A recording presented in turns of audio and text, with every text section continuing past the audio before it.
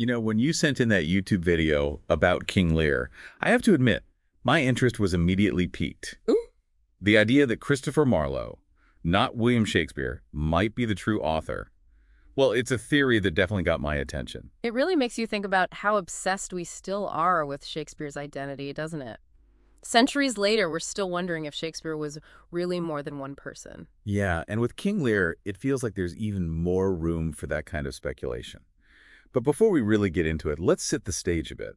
For anyone who might not remember every detail of Elizabethan playwrights, who was Christopher Marlowe and why is he linked to Shakespeare?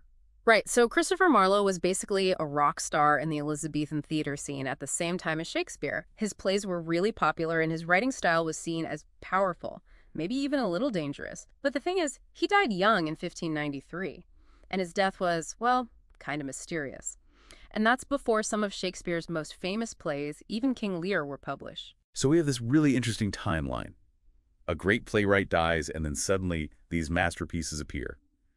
It does make you wonder, right? Definitely, and that's where King Lear comes into play.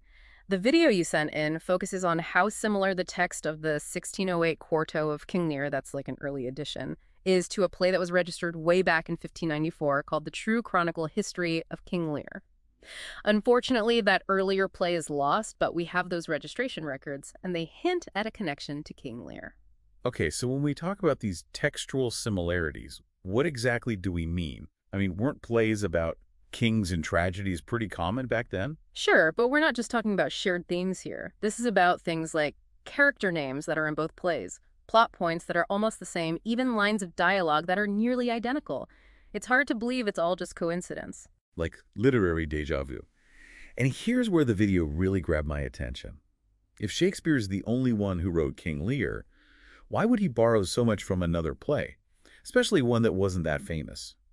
And what about all the revisions and changes between that early quarto and the version we see in the first folio after Shakespeare died? You're hitting on the big questions that are driving this whole debate about who wrote the play.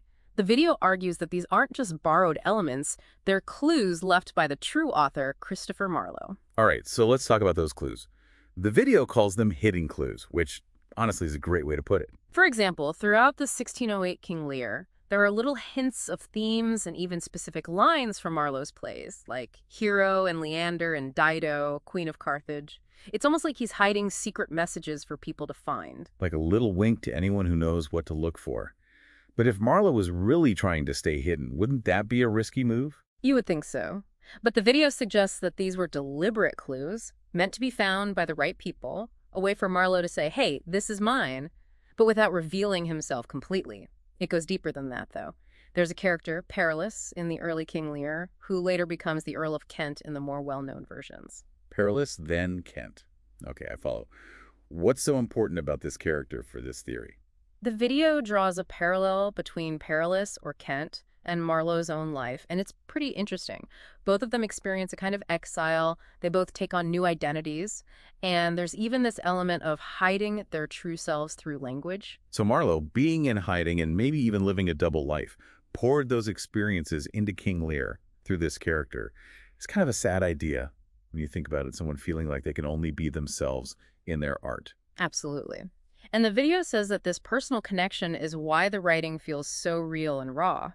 They argue that only someone who had gone through something like that could write with such depth of emotion.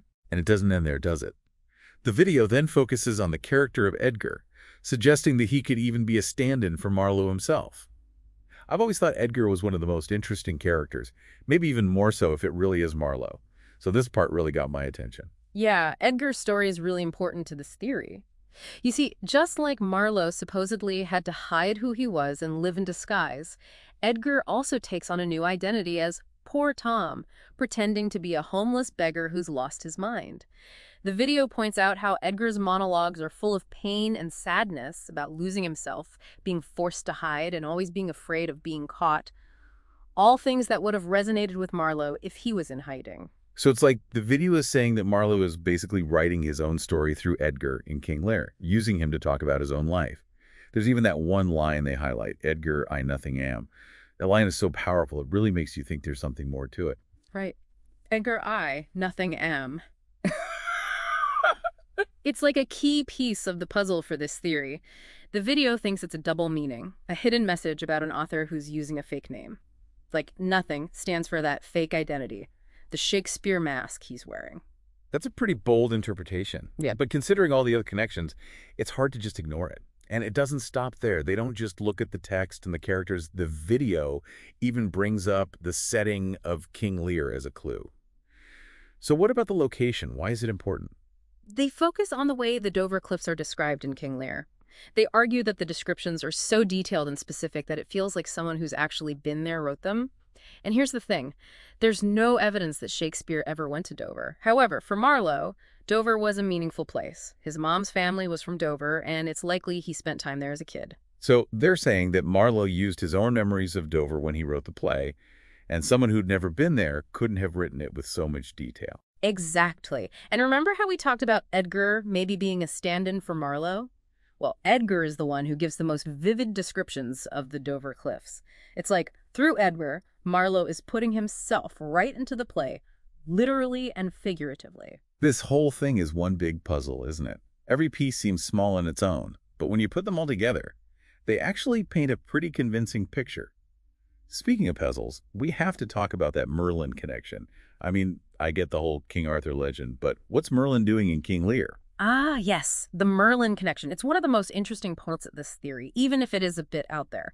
So back when Marlowe was at Cambridge, his classmates used to call him Merlin, probably because he was smart and a bit of a rebel. Okay, so Marlowe was already linked to Merlin, but how does that connect to the play itself? Well, in King Lear, there's this scene where the fool, you know, that character who seems silly but is actually really insightful, quotes a prophecy that's supposed to be from Merlin.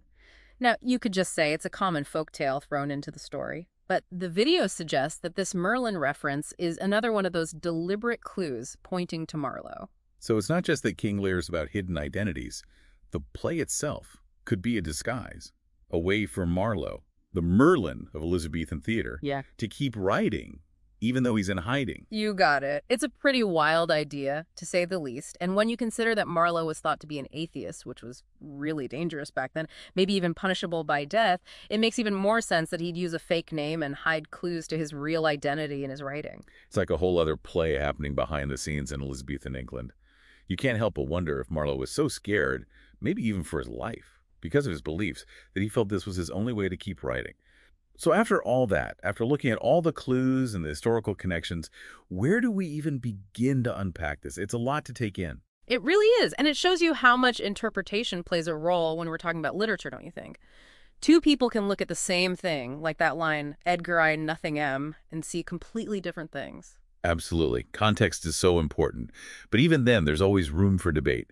Let's say, just for a moment, that we entertain this theory.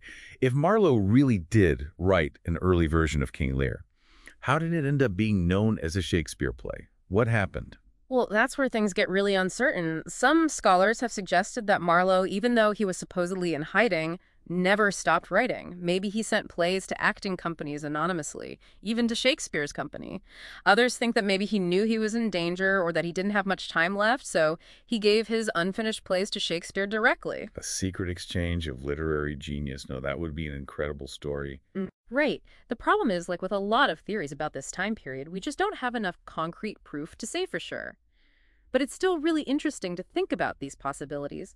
Imagine a whole hidden world of Elizabethan theater, where authors are secret, collaborations happen in the shadows, and amazing plays come from dangerous secrets. It makes you rethink everything you thought you knew about that time.